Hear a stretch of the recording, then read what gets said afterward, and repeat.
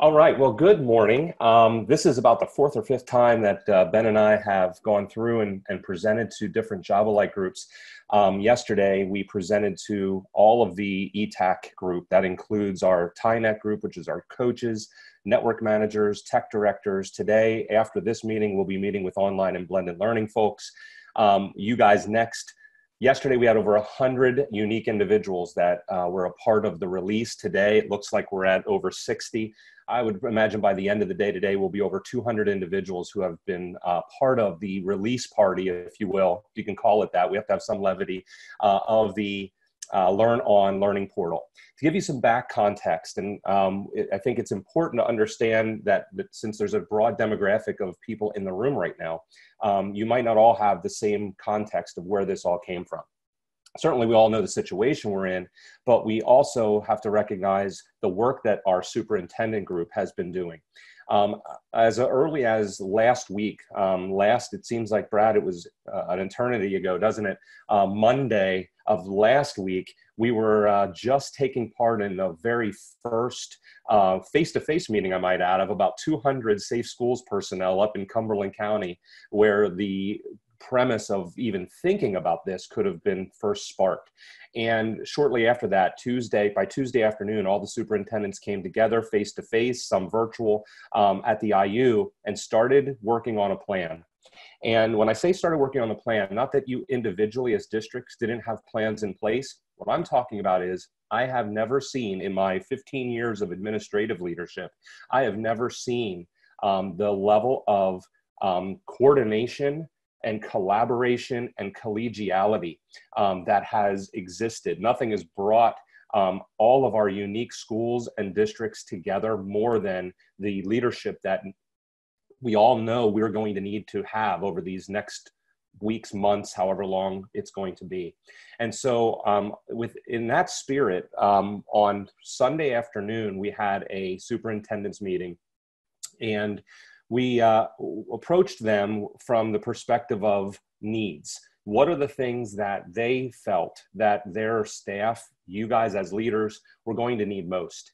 And the continuum was all over the board, but I think what the general consensus was was that there needed to be a rapid cycle of giving the resources that teachers were going to need to get content online and parents the resources for being able to allow their children to be able to access it. In addition, we heard loud and clear that leaders needed to be able to have some formal plan. Now, with that said, we work very closely with each of you um, to be able to develop long term plans often uh, with this. We have districts that have been moving to online instruction for the last three to five years and still are not where they would like to be to be able to say they could seamlessly um, move right over to that environment. So, what you're going to see here today is what Ben and I decided right away when we met then on Sunday evening to start talking about a plan. We knew we needed to get something that was actually accessible, was quick, and was the really hitting the majority of our teachers uh, with resources where they um, where they were. And so uh, born out of this was Learn On. This site that you're going to see here did not exist as of about nine o'clock on Monday morning. So what you're seeing was what we've developed all this week, and it is a continually evolving portal. It has turned into that, a, a real portal. And so I want to point out a couple of things, and Ben, feel free to jump in. I know we've done this uh, several times now, but if I miss something or if I forget something, just jump in and, and stop me. Um, if you look, you'll see that the portal is based around the three demographics I've just described. Once we officially launch, which uh, I have to tell you, as of uh, this morning, we had over 700 unique um, users who have already accessed the site, and we saw that it was over 20 states in, in the US that have actually started accessing it. So I think it already is kind of going live. Um, we have right on the top landing page scheduled a series of two full weeks of training webinars that as your staff are home and as they are trying to figure out what are the best practices, as your leaders are trying to figure out how do we guide this, we have scheduled and set up a full continuum of professional learning opportunities, partnering with our, our friends there in Ed Services as well as in special ed you're going to notice these office hours over the next couple of days are going to fill in with sessions as well. Our TAC folks are going to be um, putting in some sessions that are going to be very pragmatic for your staff as well. Over three as we as we go down through, you'll see here that we're going to be using Zoom for these trainings, and they're going to be supported by the content that I'm going to get to in a minute up top here. These sessions are able to hold 3,000 attendees. So we hope that that's going to be enough. We have 10,000 educators or more across just our IU footprint, but we think that that's going to allow us to be able to meet the capacity that we're that we're going to try to meet. And if they missed it, or if the room is full, they can go to our YouTube channel where everything will be there, fully accessible and closed captioned. In addition, we will be taking care of reporting even Act 48. We realize that these are timelines that are coming up. So we're going to be accepting at the end of every webinar, if the attendee stays all the way to the end, they're going to get um, immediately redirected out of the webinar and to our Act 48 reporting system where we're going to be able to take care of that. We're also creating an FAQ where it's essentially our instructional question help desk, where your teachers, your leaders can post questions, and then we'll be creating an FAQ knowledge base that all of our users can go to. As we go into next week, this calendar was built, and I realize a lot of you may be saying, I need some training for my teachers now, not the, the Monday from next Monday. I'm going to share with you that this date was collaboratively determined with the superintendent group from all three counties. While some of your groups and your teachers may be there and ready, not all are. So we are only going to begin launching these actual live webinars with staff in mind, teaching staff in mind, starting on the 30th. That's why we were able to fill all next week with talking to the Special Ed Advisory Council, just like we are with you today, as well as with the leadership by scheduling down here in the leadership meeting scheduler. We're using Calendly as a tool for this. You can see that all the dates are available. So if next week you want to meet with us on the 25th, you'll see here are some available times. You see people are already booking up on the 24th. Only three of the six time slots are available. So if there's things you want to meet with us about to talk through just what some of your plans are, that's where would be a great place to sign up for that. So, speaking about your plans, what should be driving your plans? That's what really we want to spend the bulk of the rest of our time with you today going over. But before I do that, Ben, did I miss anything or am I good to go? Nope, I think he covered everything there. Okay, so we tried to make it a very URL friendly web address. When you go to uh, the normal site, it's pretty long. And you know what? I don't know about you guys, but I'm just about sick and tired of typing COVID 19 into stuff. So we got rid of it. We had it as the name of our site, and we're like, I'm done. And so it is now in the chat. It is learnon.iu12.org. Yes, it is pronounced learn on, not learning. So please help us with that branding and make sure that it is learn, pause, on. And when you go to learn on, you'll see in the district, we're going to break this down Ben's going to take care of talking about the educator portal, and I'm going to talk about the district leaders. And then um, probably Ben will tag you will tag the parent and caregivers on to finishing up after the educators. What you'll notice is that we have made this very stage and step based. When you go into any of the resources that we're providing, and I think one of the things that Ben probably um, shared uh, with with a lot of groups is that um, we are looking at a resource that is intended to get districts spun up as quickly as is even possible. And so, in doing that, I'm going to go to the first page, which is on operationalizing. Actually, before I even ever even do that, I want to go to the narrative that we have right on the district leaders page. I cannot stress the importance of this paragraph. In fact, it's so important, I'm actually going to pause and let you read it.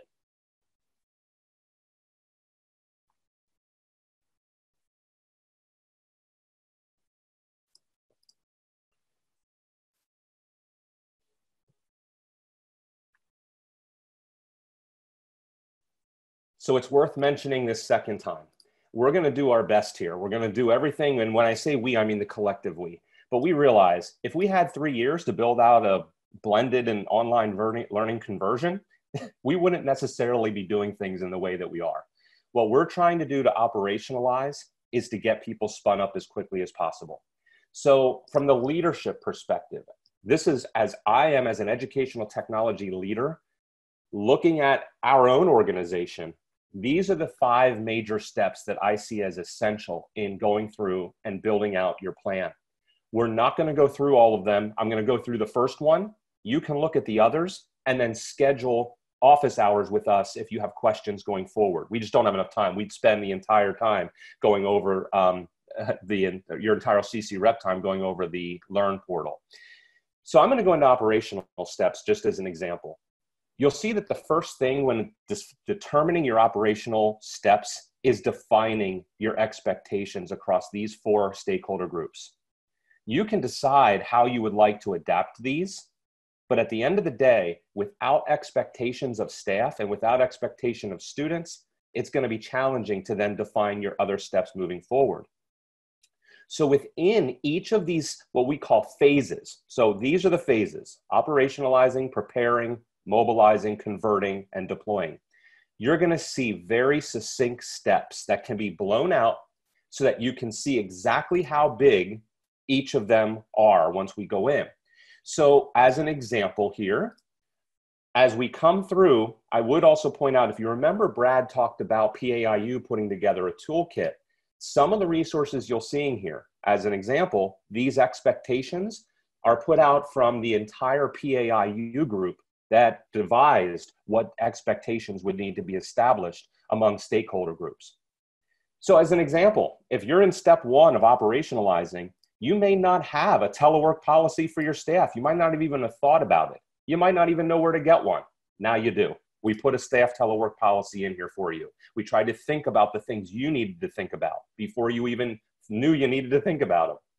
Web conferencing technology. Certainly, we're talking about FERPA, we're talking about HIPAA, and we want to make sure that we are secure with the content that we are actually doing. And so we put in there what are the considerations for FERPA as you're having staff who may be delivering content now in a virtual environment that is face to face using something like Zoom or something like um, Google Hangouts Meet, both of which are FERPA compliant. And then finally, as we look at your own policies, you may not have a live streaming policy that's actually a board adopted. It's probably too late at this point to get one adopted before you need to get moving. That's fine turn this policy into a student agreement that they have to sign off on electronically and acknowledge that they understand the parameters of what your district is ex- expecting of them. So that's just one section of one step contained within the operationalizing phase. Every phase, as we go down through here, from operationalizing to converting, if I go to deploying, every one of them is broken into very nice, succinct steps to lead you through this, what we know is could be a very tumultuous times if you didn't have the guidance. We hope that by giving you this guidance of through these five steps of leadership, you can set up a really clear plan for your educators for what they need to do to be able to then access the educator stages. So I'm going to pause there. I'm going to stop my screen sharing so we can turn over to Ben I've been looking in the chat. I haven't seen any questions yet come into the chat. Please feel free to be typing any questions you have in there, and um, I'll go ahead and take care of fielding those while Ben is taking over for the educator side of the portal. It's on to you, Ben. Thanks, Jared. So I'm back on our homepage, and we have two ways that educators can get to the site uh, to the location that they're looking for. First, they can go to um, the educator button or they can come to the drop down and you'll see we're going to, although we will be using our YouTube channel, we'll also be posting the recorded webinars uh, right on the site. And I'm going to start by clicking on the main button for educators. And what you're going to see mirrors what Jared was discussing for district leaders, which is that um, that we really want to make sure that um, that people have a step-by-step process that will allow them to um, move their instruction into an online place. And so that's going to begin by having them investigate best practices. So we've set up these steps for for the educators, and again, it's very similar. They would go to the best practices page, and they would be able to take a look at the different pieces that we have there, and in addition, ask those types of instructional questions that might apply. Then we want them to think about all of their learners. And as we recognize how important FAPE is, we have created special pages specifically for special ed, English learners, and gifted support. Please know that, um, as Jared said, you know, we really spun the majority of this up in, four, in, in about 48 hours. Um, on our roadmap is to create specific pages for specialized educators, such as school counselors, career to uh, works um, uh, advisors, nurses, reading specialists, all those types of things that's being done in the background so that we can also consider all of your educators. The next step is for the educator to think about their warehouse. And when we talk about the warehouse, we recognize that many of you have um, LMSs. You may have Canvas, Schoology, Google Classroom, or some combination of that. And, and one of the, the pieces that, that I think is important to note, um, and and it will help you at least understand the philosophy we have in trying to get educators online. If you have Schoology and all of your educators are using it, then that becomes a great place for them to use it. But if if you have if you have not uh, already been using an LMS, then we don't feel like it's going to be easy for somebody to spin that up uh, if you you know i see lots of advice out there oh go use google classroom it's very simple to use and um, and you won't have any issues um, in, in, in that regard um, for how um, how to, to to get information to students. And what we think is that you know if you had them face to face it's still a chore um, where you have to learn Google Classroom and then upload your materials and, and figure out where things go and how to access them and grading and all that. And then you have to get your students into that, that session. And so um, I would just point out that that's not easy when they're face to face. If a teacher doesn't have that, that ability right now to um, employ their Google Classroom, I'm we're not sure that that's the best strategy. And instead, we're recommending the use of something simple, keeping it simple, a Google Doc or a HyperDoc um, uh, can really make it easy for them to sort of follow along and see all the different things um, that that the teacher is planning. In the same way, we are recommending that districts create a directory for all of their educators so that uh, if you're saying everything is in Schoology, that's where all all teachers and students and pa- families can access things, that's fine. But if not, creating a directory with a list of the the teacher names or the subject names will allow students to have and parents a one-stop shop to find those resources. So thinking about students that are in third fifth eighth grade you know for a parent we don't want them going to three places. We want them going to one place where they can um, they can make use of it. And so once you've made the decision about identifying your warehouse the next step is to start the planning process. And we have selected the um, uh, Allison Yang's uh, Oreo format here. And you can see that we have a, a template that we've created that uh, builds off of her Oreo template. And, and, I'll show you where you can get more information on that in a moment.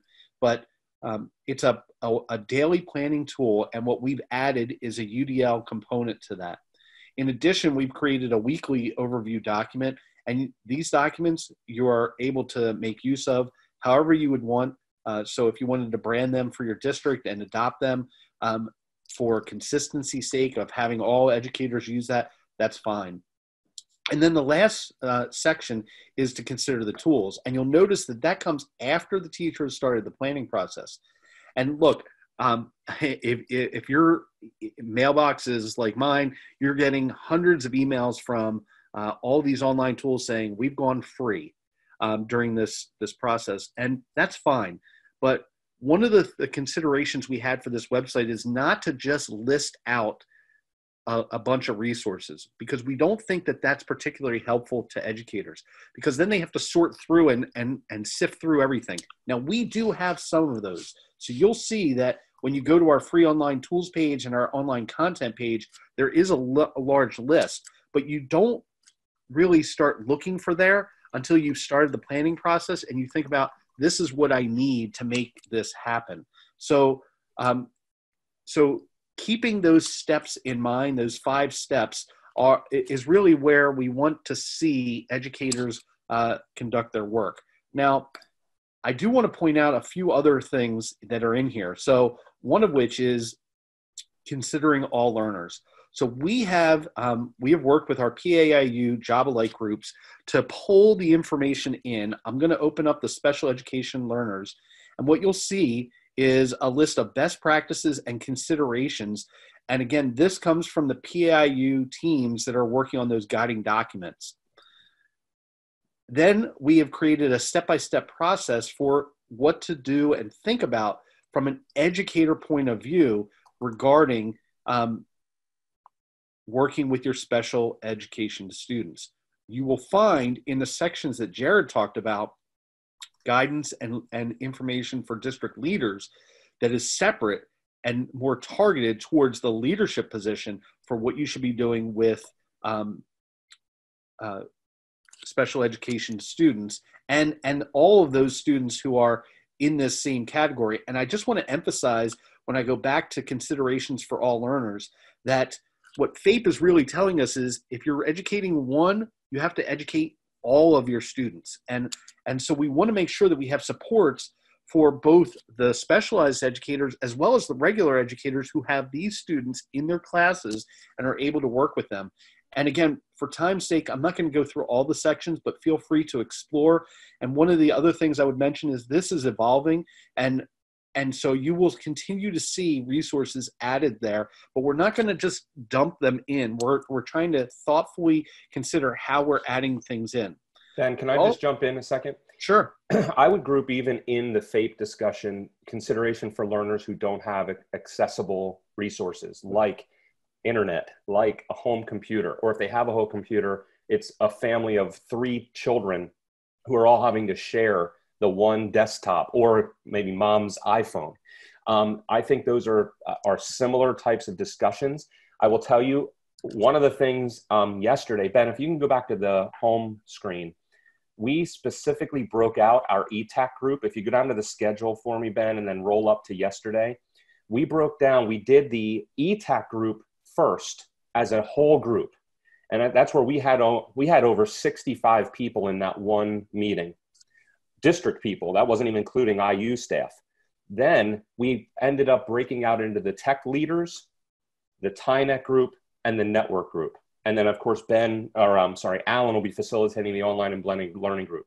In every one of those conversations, they are already starting to think about what things are going to have to happen for those students who don't have access, independent of uh, special needs or um, EL or any of those types of things. They were getting creative. I mean, they know that you guys are setting up, many of you, the lunch pickups. Well, what if it's curriculum pickup um, for those students who aren't um, able to get online? You're going to need to start thinking, or equipment pickup they're also starting to think about how they can spin up help desk services for kids if you have technology resources. So um, I will say it was a real, we had four hours of uh, essentially ETAC yesterday, which is probably more than anybody should be subjected to. But a lot of the discussions were around exactly that question. So I would strongly encourage you to um, talk with your tech folks, keep them included because they had some really good ideas um, at, that are a part of the notes and the recording that I already put up in the um, the chat for uh, this Zoom meeting. Thanks, Jared. So I, I do want to um, take a, a, few moments just to quickly highlight uh, a couple of our other tools that are in here.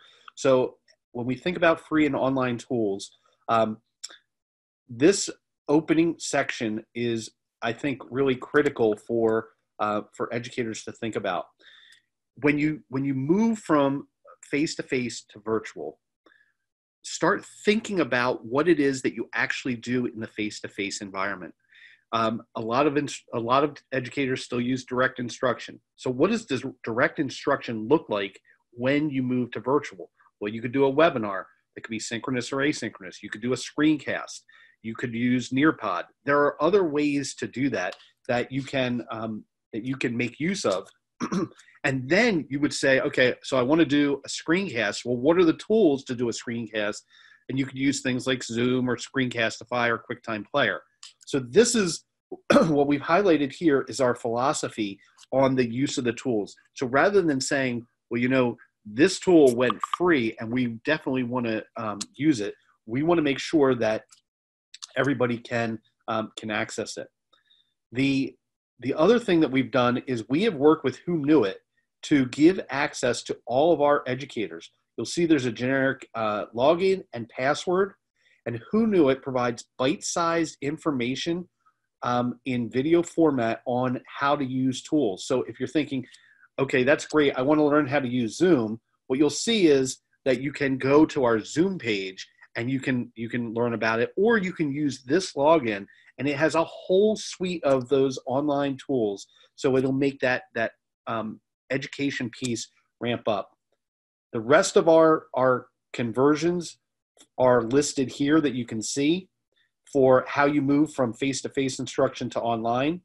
And then for content resources, we also have done the same thing. We put the four core subject areas at the top, followed by other areas. And if you dive into any one of these specific areas, you'll find lots of information. And we've tried to identify for you whether it's free or such as OER Commons, which is always free, or free during this um, uh, this issue that we're dealing with now, so that you understand when you make that choice whether or not you're going to continue to have access uh, later on.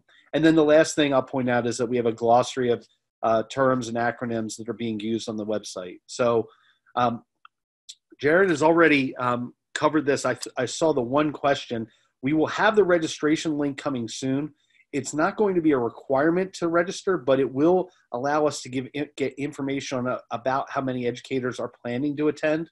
And so that'll be uh, coming probably not until Tuesday of next week. That's our target to have the registration for the sessions that begin the following Monday. So with that, I'll turn it back over to Jared to see if he has anything before he turns it back over to Brad and his team. Sure. So um, thank you, Ben. And um, Brad, if you want to go ahead and get back to your agenda, actually, you know what? Just in case there's questions, why don't you let it uh, with me still? That way, if uh, somebody does have a question, I can I can field it. Um, as far as for the portal, I'll go ahead and uh, pull that back up again. Um, if there are any questions, don't hesitate to reach out to us for sure. Um, but um, one of the questions that just came into the chat that I'll just quickly answer. Some of your tech directors are starting to work on plans of deploying devices, um, none of which are discussing um, yesterday in the entire discussion. The concern was not around the insurance element. Um, and in fact, the insurance cost is so inexpensive in comparison to the cost of the hardware itself I would probably encourage you to just think about covering that for now and then dealing with it later if it's something that you have to contend with. But again, that's something you need to talk with your own tech folks about. I would say that that's the thing that I would um, say resonated most with every single one of the Job-alike subgroups yesterday. And that's how I want to end is please make sure that you are thinking about your coaches and thinking about your tech directors and thinking about your hardware specialists as you're going forward with your plans it is essential. They have an expertise that is really unmatchable in terms of knowing the things, the pitfalls that many of your teachers are going to run into. And they will help you think through these things that I know can seem daunting right now. So please make sure that you include them. Every one of them wanted to um, absolutely try to make uh, a, a, uh, impression on me to share that with every other leadership group that I worked with or have a chance to talk with. So I am sharing with you. Please make sure that you include them. Um, ben, I don't know if you got to point to, I was fielding some of the questions. Did you get to talk about the parents side here? I didn't. So that's a good point. we, we recognize that for the parents um, and caregivers, and part of the reason why we talked about caregivers is that um, we don't think that it's a realistic expectation that you can put online learning, uh, just put some stuff on a website, have a kindergarten student go read all of that information, and then work through that list and submit all of their work. We recognize that that what's going to happen is that most likely somebody else in the home, it may be a parent, but it may be the sixth grader who is going to be supporting those students.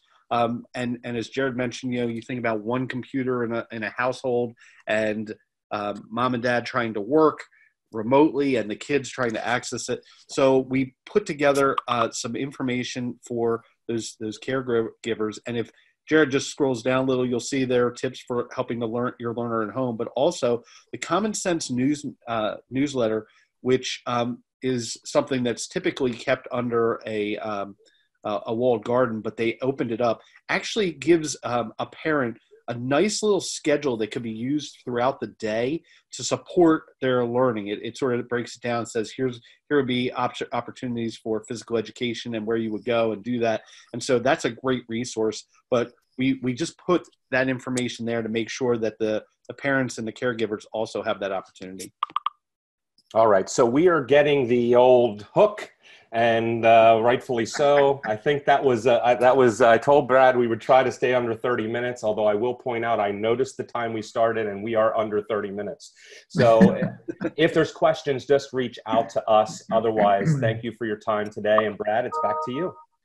All right, thank you. Always competitive, Jared. Always competitive. I like that. Um, Jared and Ben, thank you guys so much. Um, there's been a ton of work on this, and really, all that work is meant to help you. Um, so as you digest what Jared and Ben had shared with you, um, and you get to go through all of it, please don't hesitate to reach out to any of us. Um, Jared, Ben, anybody in our team. Um, we want to definitely help you so that you can navigate this tool to make it work the best for you. So Jared and Ben, thank you again um, for joining us today. I really appreciate that.